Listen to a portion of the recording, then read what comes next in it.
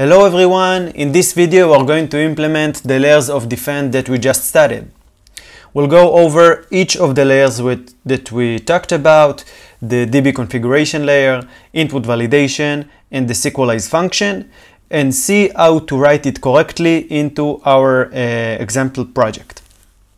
Let's start with uh, the first layer, which is DB configuration. If we want to configure our database correctly, uh, when we are using Sequelize, we need to go to the model instance. Here inside my initdb function, I define a, a user model, as you can see here. The user model has two columns, uh, first name and gender. As we talked before, first name is unknown value. We don't know what to expect from, uh, from the user. And gender is known value. We expect gender to be one of the two, uh, male or female.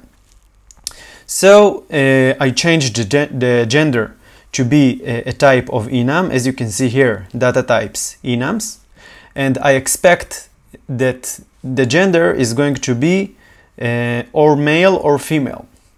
Usually what we are doing, we are creating an enum folder, as you can see here on the left, and we are uh, exporting the values that we expect to receive, and this is how we define our model instance. Great. Now let's continue to our input validation uh, level layer. In order to see it, I, am going to the app.js and here uh, we have our uh, route, which is a post route um, that named query. And uh, this is this query is the function that we are going to, to do. But when we are dealing with input validation, we want to make sure we are doing it before um, the actual query that we want to do. So, uh, because we're using Express, I'm going to add a middleware that is called input validation, as you can see here. And also, and only if I uh, pass this middleware correctly, I'm going to enter the query function. Let's see what we have inside our input validation function. Here in the input validation function, I'm using a, a Joi, the Joi package. Joi is a very popular package for input validation. And uh, with Joi, we are defining something called a schema. Our schema is going to have two, uh, two attributes, first name and gender. And here I define the first name to be a string, minimum three uh, letters, and it is required from the body.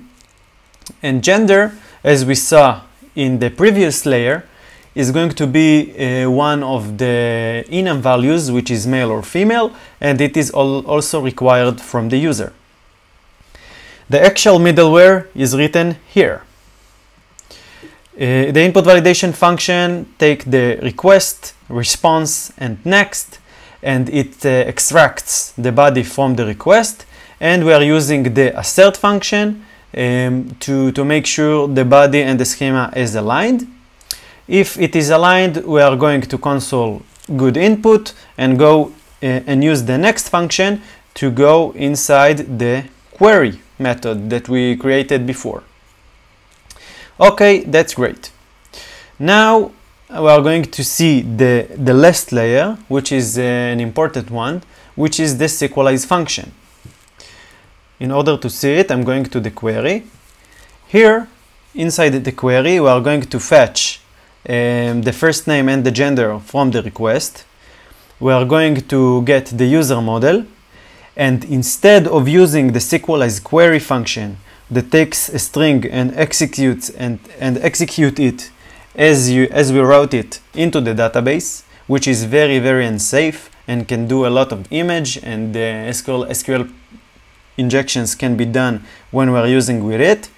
We want to change the Sequelize query to be a, an, a built-in function that uh, Sequelize uh, exports. For example, find all in our case. So instead, instead of using Sequelize query, we are going to change it to find all.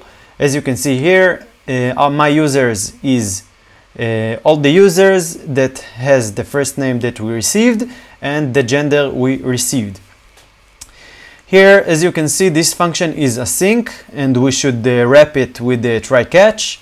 Uh, but for example, I think it's, uh, it's okay. If you have any questions, feel free to contact us and we'll explain it about it more.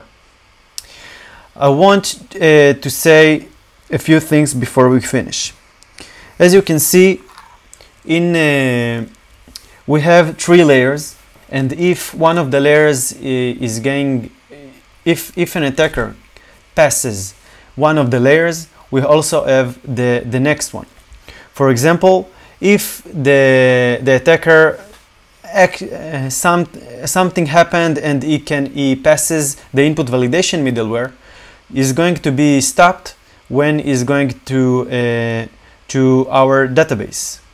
For example, if uh, we define the input validation middleware here uh, with the wrong schema, for example, we say that uh, we allow few more things. For example, uh, male, female, and uh, something else. when the user will try to use this uh, attribute inside our database is going to fail because we define it in the next level. This approach is very useful and it helps us uh, to prevent SQL injections. And that's it, my friends. I hope that you uh, do learn something from this video and from this tutorial.